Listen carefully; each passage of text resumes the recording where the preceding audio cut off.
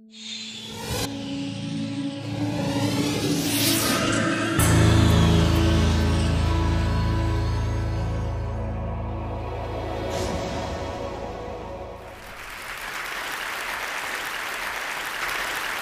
me begin with four words that will provide the context for this week. Four words that will come to define this century. Here they are The earth is full. It's full of us, full of our stuff, full of our waste, full of our demands. Yes, we are a brilliant and creative species, but we've created a little too much stuff.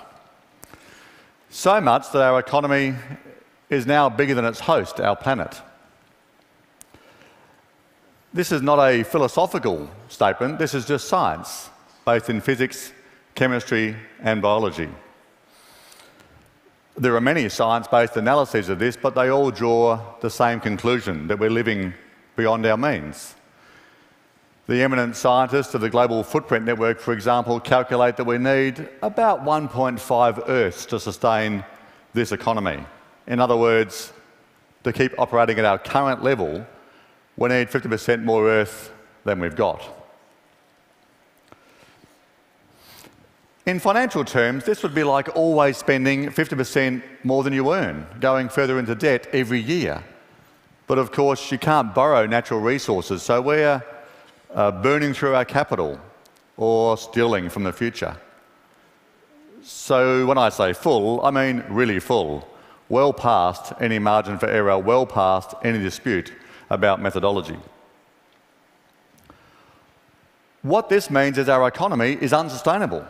I'm not saying it's not nice or pleasant, or that it's bad for polar bears or forests, though it certainly is. What I'm saying is our approach is simply unsustainable. In other words, thanks to those pesky laws of physics, when things aren't sustainable, they stop. But that's not possible, you might think. We can't stop economic growth because that's what will stop economic growth. It will stop because of the end of cheap resources. It will stop because of the Uh, growing demand of us on, on all the resources, all the capacity, all the systems of the earth, which is now having economic damage. When we think about economic growth stopping, we go, that's not possible because economic growth is so central to our society that it is rarely questioned. Although growth has certainly delivered many benefits, it is an idea so central that we tend not to understand the possibility of it not being around. Even though it has delivered many benefits, it is based on a crazy idea. The crazy idea being that we can have infinite growth on a finite planet. And I'm here to tell you the emperor has no clothes, that the crazy idea is just that it is crazy. And with the earth full, it's game over. Come on, you're thinking. That's not possible. Technology is amazing. People are innovative. There are so many ways we can improve the way we do things. We can surely sort this out. That's all true. Well, it's mostly true. We are certainly amazing and we regularly solve complex problems with amazing creativity. So if our problem was to get the human economy down from 150% to 100% of the Earth's capacity, we could do that. The problem is we're just warming up this growth engine. We plan to take this highly stressed economy and make it twice as big, and then make it four times as big, not in some distant future, but in less than 40 years, in the lifetime of most of you. China plans to be there in just 20 years. The only problem with this plan is that it's not possible. In response, some people argue, but we need growth. We need it to solve poverty. We need it to develop technology. We need it to keep social stability. I find this argument fascinating, as though we can kind of bend the rules of physics to suit our needs. It's like the earth doesn't care what we need. Mother Nature doesn't negotiate. She just sets rules and describes consequences. And these are not esoteric limits. This is about food and water, soil and climate, the basic practical and economic foundations of our lives. So, the idea that we can smoothly transition to a highly efficient, solar powered, knowledge based economy transformed by science and technology so that 9 billion people can live in 2050 a life of abundance and digital downloads is a delusion. It's not that it's not possible to feed, clothe, and house us all and have us live decent lives. It certainly is. But the idea that we can gently grow there with a few minor hiccups is just wrong. And it's dangerously wrong because it means we're not getting ready for what's really going to happen. See, what happens when you operate a system past its limits and then keep on going at an ever accelerating rate is that the system stops working and breaks down. And that's what will happen to us.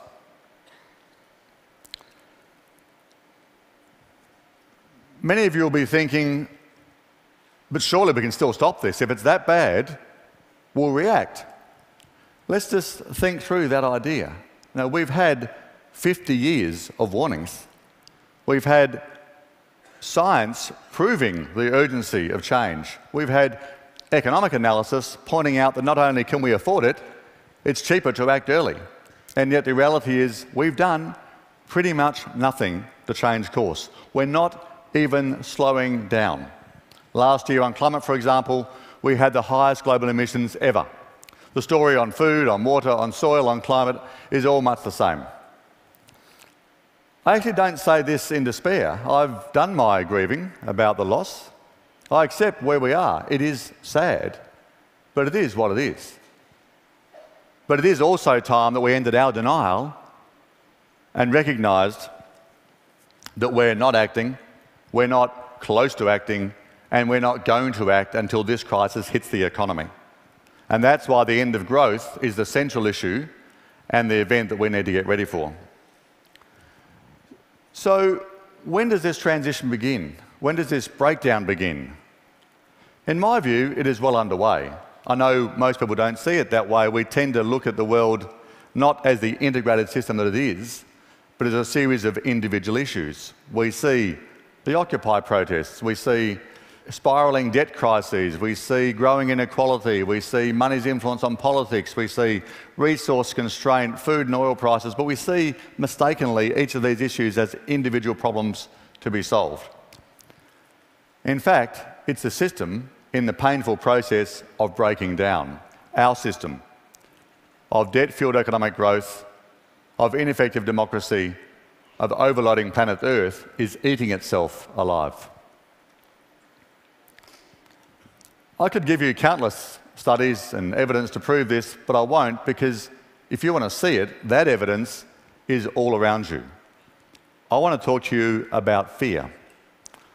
I want to do so because, in my view, the most important issue we face right, is how we respond to this question.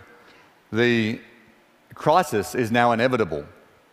The issue is how will we react? Of course, we can't know what will happen. The future is inherently uncertain, but let's just think through what the science is telling us is likely to happen. Imagine our economy when the carbon bubble bursts, when the financial markets recognise that to have any hope of preventing the climate spiralling out of control, the oil and coal industries are finished. Imagine China, India, and Pakistan going to war as climate impacts generate conflict over food and water. Imagine the Middle East without oil income, but with collapsing governments. Imagine our highly tuned just in time food industry and our highly stressed agricultural system failing and supermarket shelves emptying. Imagine 30% unemployment in America as the global economy is gripped by fear and uncertainty. Now imagine what that means for you, your family, your friends, your personal financial security. Imagine what it means for your personal security as a heavily armed civilian population gets angrier and angrier about why this was allowed to happen. Imagine what you will tell your children when they ask you, So, in 2012, mum and dad, what was it like? when you'd had the hottest decade on record for the third decade in a row, when every scientific body in the world was saying you've got a major problem. When the oceans were acidifying, when oil and food prices were spiking, when they were rioting in the streets of London and occupying Wall Street, when the system was so clearly breaking down, mum and dad, what did you do? What were you thinking? So, how do you feel when the lights go out on the global economy in your mind? When your assumptions about the future fade away and something very different emerges? Just take a moment and take a breath and think what do you feel at this point?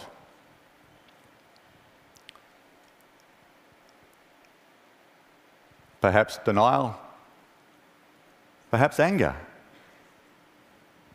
maybe fear.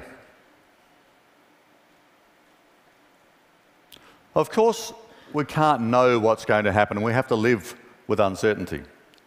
Well, when we think about the kind of possibilities I paint, we should feel a bit of fear. We are in danger, all of us, and we've evolved to respond to danger with fear, to motivate a powerful response, to help us bravely face a threat. But this time, it's not a tiger at the cave mouth. You can't see the danger at your door, but if you look, you can see it at the door of your civilization. That's why we need to feel our response now while the lights are still on, because if we wait until the crisis takes hold, we may panic and hide. If we feel it now and think it through, we will realize we have nothing to fear but fear itself. Yes, things will get ugly, and it will happen soon, certainly in, in our lifetime. But we are more than capable of getting through everything that's coming. You see, those people that have faith that humans can solve any problem, that technology is limitless, that markets can be a force for good, are in fact right. The only thing they're missing is that it takes a good crisis to get us going. When we feel fear and we fear loss, we are capable of quite extraordinary things. Think about war. After the bombing of Pearl Harbor, it just took four days for the government to ban the production of civilian cars and to redirect the auto industry, and from there to rationing of food and energy. Think about how a company responds to a bankruptcy threat and how change that seemed impossible just gets done. Think about how an individual responds to a, a, a diagnosis of, of a life threatening illness and how lifestyle changes that pre previously were just too difficult suddenly become relatively easy. We are smart. In fact, we really are quite amazing, but we do love a good crisis. And the good news this one's a monster. Sure, if we get it wrong, we could face the end of this civilization. But if we get it right, it could be the beginning of civilization instead. And how cool would it be to tell your grandchildren that you were part of that? There's certainly no technical or economic barrier in the way. Scientists like James Hansen tell us we may need to eliminate net CO2 emissions from the economy in just a few decades. I wanted to know what that would take, so I worked with Professor Jørgen Randers from Norway to find the answer. We, we developed a plan called the One Degree War Plan, so named because of the level of mobilisation and focus required. To my surprise, eliminating net CO2 emissions from the economy in just 20 years is actually pretty easy and pretty cheap. Not very cheap, but certainly less than the cost of a collapsing civilization. We didn't calculate that precisely, but we understand it's very expensive. You can read the details, but in summary, we can transform our economy.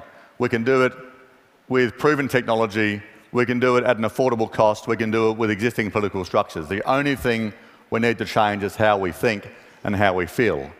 And this is where you come in. When we think about the future I paint, of course we should feel a bit of fear. But fear can be paralysing or motivating. We need to accept the fear and then we need to act. We need to act like the future depends on it. We need to act like we only have one planet. We can do this. I know the free market fundamentalists will tell you that more growth, more stuff, and 9 billion people going shopping is the best we can do. They're wrong. Right? We can be more, we can be much more. We have achieved remarkable things since working out how to grow food some 10,000 years ago. We've built a powerful foundation of science, knowledge, and technology, more than enough to build a society where 9 billion people can lead decent, meaningful, and satisfying lives. The earth can support that if we choose the right path. We can choose this moment of crisis to ask and answer the big questions of society's evolution, like what do we want to be when we grow up?